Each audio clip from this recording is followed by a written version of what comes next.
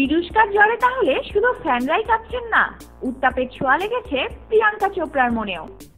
না হলে বিয়ে নিয়ে হঠাৎ মুখ খুলবেন কেন? পোশাকে খোলামেলা হলেও ব্যক্তিগত জীবন নিয়ে তো যথেষ্ট রাগ ঢাকি ছিল প্রিয়াঙ্কার।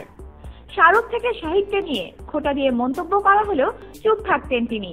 সেই প্রিয়াঙ্কাই কিনা সম্প্রতি মুম্বাইয়ের এক ইভেন্টে গিয়ে বলে ফেললেন, বিয়ে করার খুব শখ তার।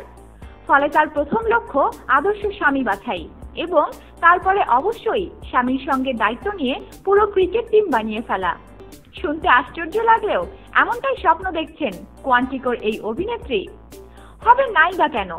ফিল্ম ইন্ডাস্ট্রির অনেক সহকর্মী তো দিব্যি লম্বা প্রেম পর্বের পর বিয়ে করে ঘর বেঁধেছেন। আচ্ছা বলিউডের কথা না হয় ছেড়েই দিলাম।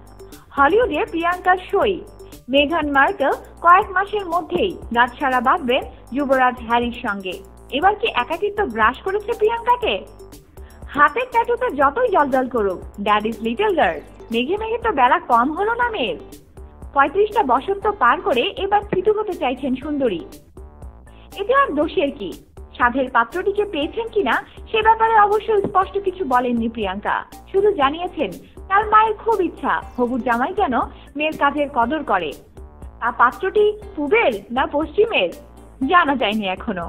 তবে ঘরের মেয়ে তো আজকাল বেশিটাই ঘরের বাইরেই থাকেন। আগামী মে মাসে মার্কেল আর হ্যারির বিয়েতেও আমন্ত্রিতদের তালিকায় তার থাকার সম্ভাবনা প্রবল। যুবরাজের বন্ধু টন্ধুকে জুটিয়ে নিলে গেল গেল করবেন না কেন? আমাদের সাথেই থাকুন আর সাবস্ক্রাইব করুন।